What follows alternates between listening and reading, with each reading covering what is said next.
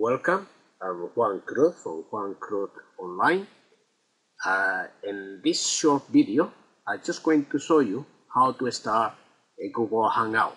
You probably never heard about this, but it's a new way, or it's a way which has been around for quite a while, in which you can um, have a conference or a conversation uh, through Google using the Google Hangout, obviously, with any friends that are in your circle.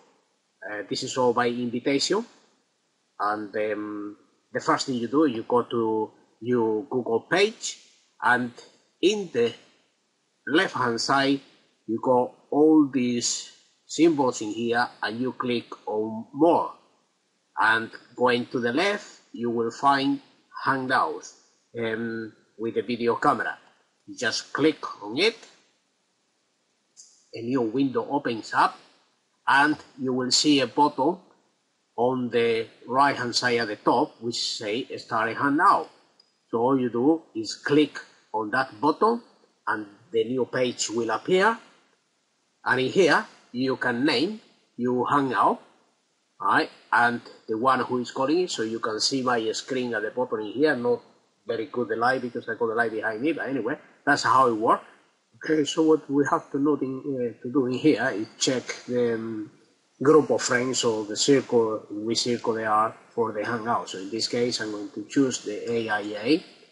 And now, what I'm going to name this, I'm going to name it AIA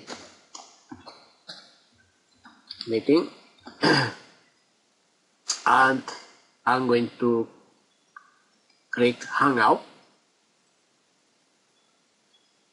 okay, waiting for people to enter this hangout.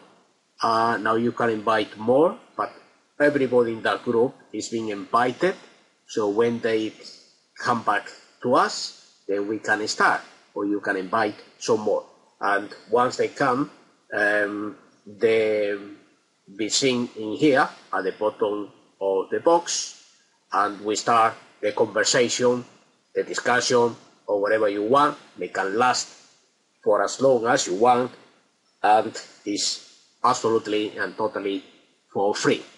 So there you are, very simple, very straightforward, once you know how to start it.